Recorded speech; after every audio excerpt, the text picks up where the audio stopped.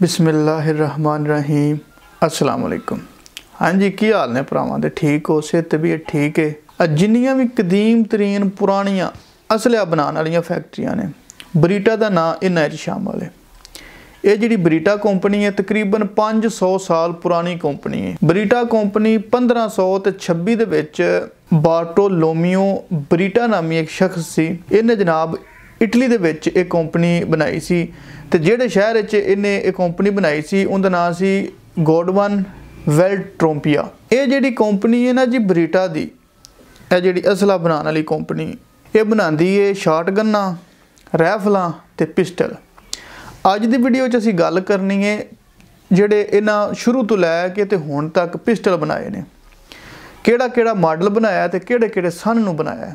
ਉਹ ਨਾਲ ਸਾਲ ਵੀ ਮੈਂ ਤੁਹਾਨੂੰ ਦੱਸਾਂਗਾ ਤੇ ਇਨਸ਼ਾਅੱਲਾ ਅੱਜ ਦੀ ਵੀਡੀਓ ਬੜੀ ਇੰਟਰਸਟਿੰਗ ਵੀਡੀਓ ਹੋਣ ਵਾਲੀ ਹੈ ਵੀਡੀਓ ਪੂਰੀ ਵੇਖਿਆ ਜੀ। ਆ ਬੜਿਆਂ ਭਰਾਵਾਂ ਨੇ ਕਮੈਂਟਾਂ 'ਚ ਆਖਿਆ ਸੀ ਕਿ ਬਰੀਟਾ ਦੀ ਕੰਪਨੀ ਬਾਰੇ ਦੱਸੋ ਤੇ ਹੁਣ ਤੱਕ ਜਿਹੜੇ ਇਹਨਾਂ ਪਿਸਤੌਲ ਬਣਾਏ ਨੇ, ਇਹਨਾਂ ਬਾਰੇ ਵੀ ਦੱਸੋ।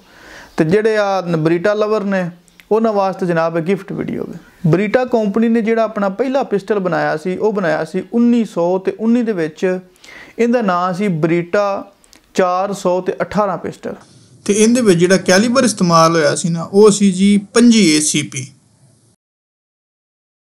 ਆ ਪਿਸਟਲ ਤੁਸੀਂ ਵੀਡੀਓ ਵਿੱਚ ਵੇਖ ਸਕਦੇ ਹੋ। ਇਹ ਪਹਿਲਾ ਪਿਸਟਲ ਸੀ ਜਿਹੜਾ ਬਰੀਟਾ ਕੰਪਨੀ ਨੇ ਤਿਆਰ ਕੀਤਾ ਸੀ।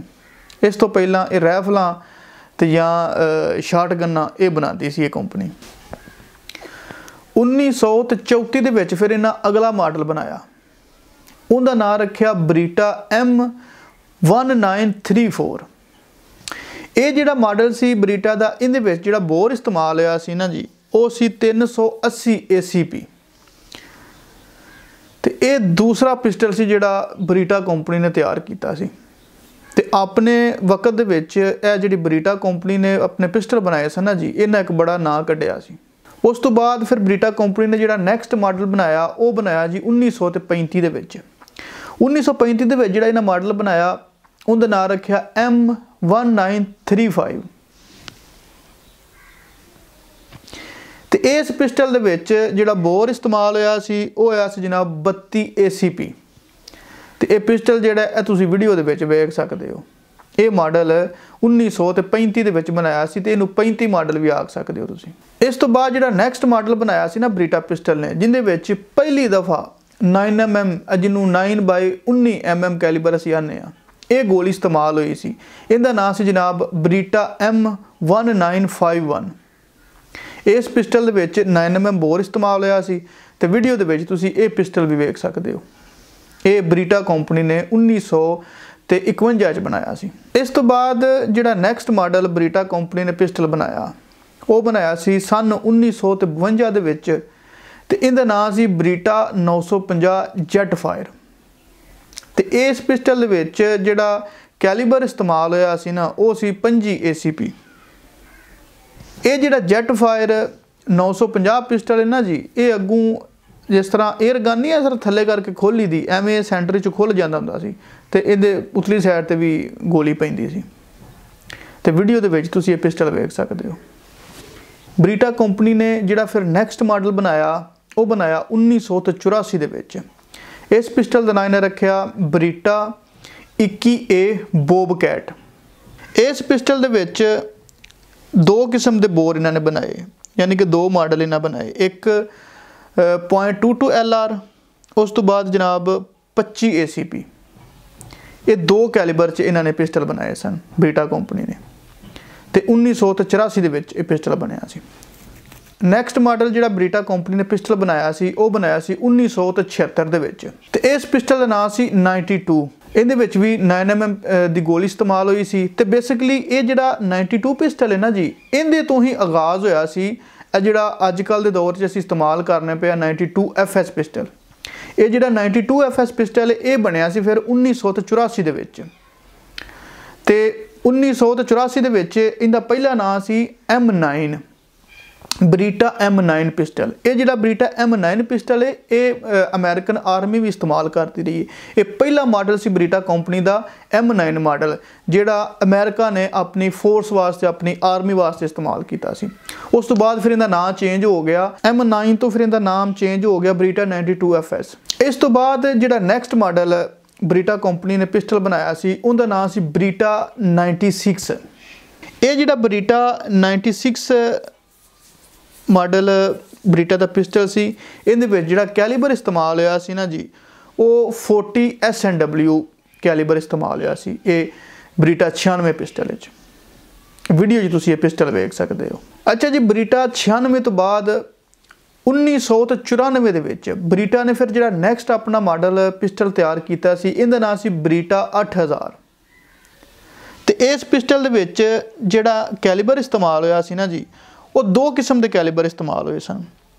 9mm ਤੇ 40 SNW ਯਾਨੀ ਕਿ ਇਹ ਜਿਹੜਾ ਬਰੀਟਾ 8000 ਪਿਸਟਲ ਹੈ ਇਹਦੇ ਵਿੱਚ ਇਹਨਾਂ ਦੋ ਵੇਰੀਐਂਟ ਕੱਢੇ ਸਨ। ਇੱਕ 'ਚ ਪੈਂਦੀ ਸੀ 9mm ਦੀ ਗੋਲੀ ਤੇ ਦੂਜੇ 'ਚ ਪੈਂਦੀ ਸੀ 40 SNW ਦੀ ਗੋਲੀ।